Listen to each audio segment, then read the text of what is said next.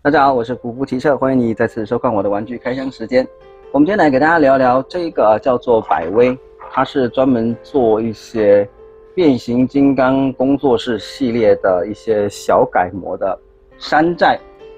玩具公司啊。嗯，那么为什么突然聊这一集呢？因为这一阵子第七集的关系呢，哎，好像很多人怀念起 Michael Bay 是怎么回事？之前不是大家骂的要死吗？啊，那我自己是很喜欢 Michael Bay 的风格了啊。应该说，真人电影的话呢，我还是比较喜欢。除了第五集我无法忍受之外，大部分我都还是比较喜欢的。那么这一款长鼻式的这个卡车，可以说是 Michael Bay 带给我们一个童年啊，有些人是童年了啊。那对我来讲的话呢，也是一个非常重要的回忆。那么百威的话呢，在这个 SS 的这个模具上呢，已经推出了很多配色。那我今天只挑这个白色所谓的青花瓷配色，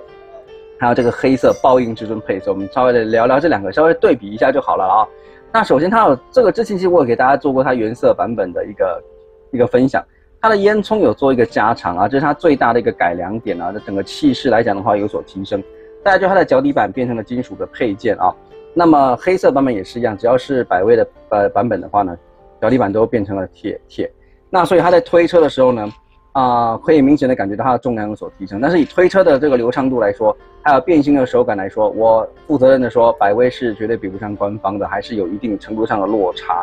那么它的呃这个青花瓷配色的话呢，在人形下比较漂亮，变成车子之后呢，嗯，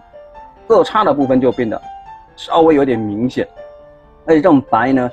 年代久远之后会不会发黄，其实是个问号啊，这个就真的不知道。但是以我个人来说，我是很喜欢青花瓷配色的。那么它的呃这个车窗的部分呢，涂成这样，感觉稍微有点，稍微是有一点点廉价感了啊，稍微有点廉价感。呃，反而这个报应至尊的这个红色的话，感觉看上去比较凶恶一点，比较有一点点一个一个质感的一个感觉。那么看一下它的火焰的分布啊，这个样子啊。那黑色的话，因为一黑遮百丑嘛，它的一个破绽来讲显得更加的少，更加的霸气一点。那这个以烟囱的颜色来讲，它也是应该说它身上的金属颜色来讲的话，稍微有点在偏暗一些。那我们来看一下啊，这个电影前三集的 OP 的造型，坦白说我是从第二集开始看的。当年我看到这个当时的这个柯博文的造型，我觉得说嗯。这个家伙不要说打架，他自己跌倒的话，或者是碰到路边的路灯啊，可能他自己的零件都要掉下来啊。呃，相较于第六集、第七集这个靠近 G One 的方方块块的造型来说，啊，当时这种身上有许多破碎零件的这个 OP 的造型呢，可能当年还是很多人不能接受了啊。但是现在它已经变成我们珍贵的回忆了。那么呢，我们先大家看一下，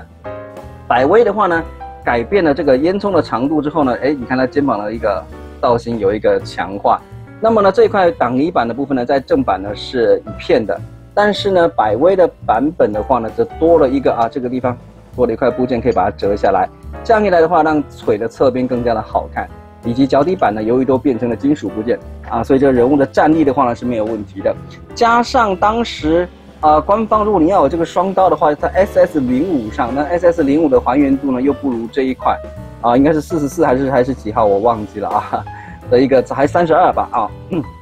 所以这个百位的话呢，直接的话呢，把这个武器呢都给附上给我们了啊。那这个白色的版本的话呢，我感觉吧啊，虽然我很喜欢这个青花瓷配色，但是，呃，感觉吧这个质感来说的话，好像还是只能说是差强人意。不过这个价格真的是很便宜。然后我手上这一款这只腿啊稍微松了一点啊，只有这只这只腿稍微松了一点。其他的关节倒是不错，那黑色的这一款的话，各方面的关节紧实度就好上很多，啊，那我们可以来看一下它的面调也做得很好看，那也是有替换的口罩脸的，但是我个人是不太想做一个替换，好，那我们可以看到啊，胸口的这个车窗的部分，两款都是透明部件啊，相较于后面正版的这个铁灰色的涂装的话呢，相信质感上看起来是会提升非常的多的。那背后的造型的话，就各位看一下就知道了，这个其实并没有做太多的修改啊。那对我们来说吧，啊，这个前三集 Michael 被带给我们的这个 OP 的造型也是非常的经典，成为我们脑海中一个重要的回忆画面了啊。那就算是啊，用这一集的话呢，小小的回顾一下啊，这一个呃很多人的童年吧啊。那么这个电影第七集的话呢，我大概就聊到这边了啊。这个剧情再讲太多啊，再强调我很喜欢看，其实也没有什么意思啊。就可能大家意见都不一样，但是呢，还是要说一下吧啊。真人电影毕竟还是要给大多数观众看的啊，并不能完全服务老粉丝了啊。因为我们毕竟变形金刚的群众还是比较小众的了啊。好吧，那今天就给各位进行到这边，非常谢谢各位的收看，我们下期再见，拜拜。